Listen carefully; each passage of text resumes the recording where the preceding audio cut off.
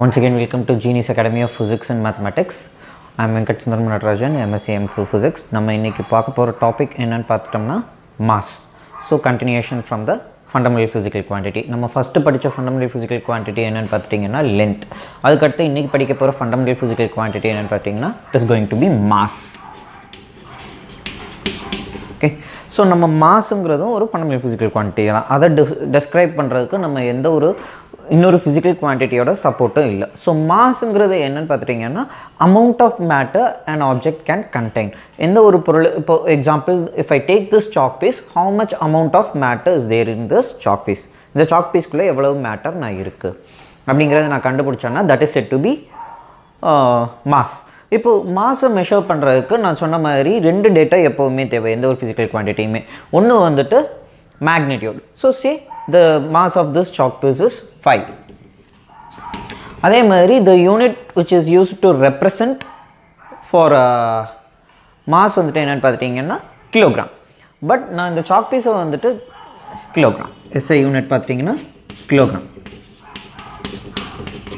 But நான் எல்லா இடத்துலையுமே நான் முன்னாடி சொன்ன மாதிரி எஸ்ஐ யூனிட்டையே நம்ம எல்லா இடத்துலையும் யூஸ் பண்ண முடியாது. சப் மல்டிபிள்ஸ் அண்ட் மல்டிபிள்ஸை யூஸ் பண்ண வேண்டியது வரும். ஸோ சப் மல்டிபிள் என்னன்னு பார்த்தீங்கன்னா கிராம் இருக்குது. அதோட குட்டியானது பார்த்துட்டிங்கன்னா மில்லிகிராம் இருக்குது ஸோ நான் இந்த சாக் பீஸ் வந்து யூஸ்வலாக கிராம்ஸில் தான் எழுத முடியும். அதனால் சாக் பீஸோட மாஸ் வந்துட்டு ஃபைவ் கிராம்ஸ் அப்படின்னு ரெப்ரசன்ட் பண்ணுவேன். சே ஒரு இப்போ ஒரு ஷாப்புக்கு போகிறீங்கன்னா அவங்கக்கிட்ட கிலோகிராமில் வாங்குவோம். ஸோ எக்ஸாம்பிளுக்கு ஒரு ஆனியன் எடுக்கிறோம். ஆனியன் வந்துட்டு சே ஃபைவ் கிலோகிராம்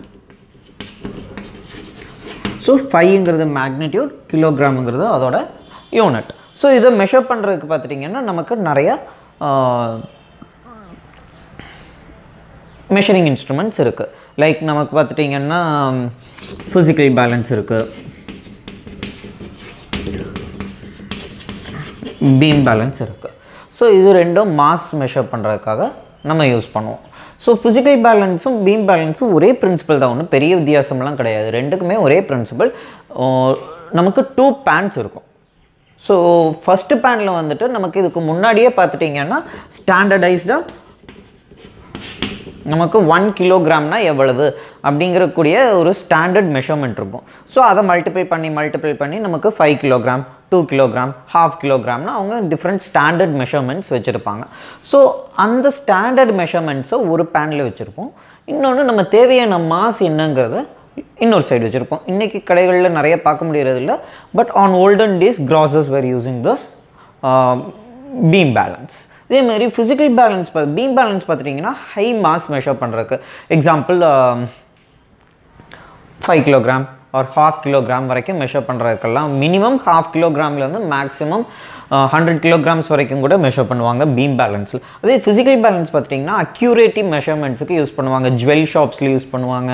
அதே மாதிரி கெமிஸ்ட்ரியில் யூஸ் பண்ணுவாங்க. ஏன்னா அதில் அக்யூரசி ரொம்ப முக்கியம். ஸோ அவங்க வந்துட்டு மில்லிகிராம் வரைக்கும் மினிமம் ஒன் மில்லிகிராம் கூட அவங்களால zero point five milligram one milligram கூட அந்த ஃபிசிக்கல் பேலன்ஸில் மெஷர் பண்ண முடியும். ஸோ இந்த ஃபிசிக்கல் பேலன்ஸ் பார்த்துட்டிங்கன்னா எப்போவுமே க்ளோஸ்டு பாக்ஸ்குள்ளே தான் வச்சுருப்பாங்க. ஆனால் பீம் பேலன்ஸ் பார்த்துட்டிங்கன்னா ஓப்பனாகவே வச்சுருப்பாங்க. ஏன்னா ஏர் ரெசிஸ்டன்ஸ் வந்துட்டு பீம் பேலன்ஸை எந்த விதத்துலையும் டிஸ்டர்ப் பண்ணாது. ஹெவி மாஸுங்கிறதுனால அதே ஃபிசிக்கல் பேலன்ஸ் பார்த்துட்டிங்கன்னா சின்ன காற்று வந்துச்சுனாலும் it will change very the mass அதுக்காக நம்ம எப்போவுமே ஃபிசிக்கல் பேலன்ஸை க்ளோஸ்டு பாக்ஸ்குள்ளே தான் வச்சுருப்போம்.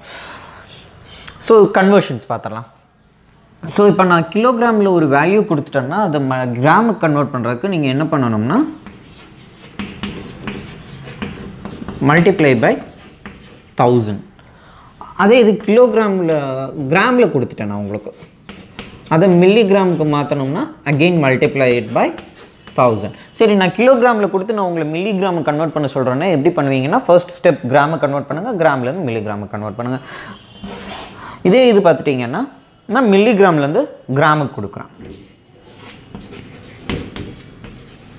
ஸோ அது என்ன பண்ணுவீங்கன்னா டிவைட் பை தௌசண்ட் அதே மாதிரி again gram to kilogram again divided by thousand so இதுதான் ஸ்கெடியூல் ஸோ அடுத்து என்னன்னு பார்த்துட்டிங்கன்னா நமக்கு இதை விட சரி கிலோகிராமோட பெரிய யூனிட்ஸ் எதுவும் இல்லையான்னு பார்த்துட்டிங்கன்னா நமக்கு குவிண்டால் இருக்குது ஸோ நியூஸ்லாம் பார்த்துட்டிங்கன்னா they'll be telling hundred quintals of onion வந்திருக்கு. தௌசண்ட் குவிண்டால்ஸ் ஆஃப் ரைஸ் இருக்குது அந்த மாதிரிலாம் சொல்லுவாங்க. ஸோ குவிண்டாலுங்கிறது ஒன்றும் கிடையாது. One quintal is equal to hundred kilogram அதோட பெரிய பெரிய ட்ரக்ஸ்லாம் எதில் மெஷர் பண்ணுவாங்கன்னா tons so one ton is equal to thousand kilogram obviously ten quintal ஓகேங்களா ஸோ இதுதான் மாஸ் பற்றி நீங்கள் தெரிஞ்சுக்க வேண்டியது.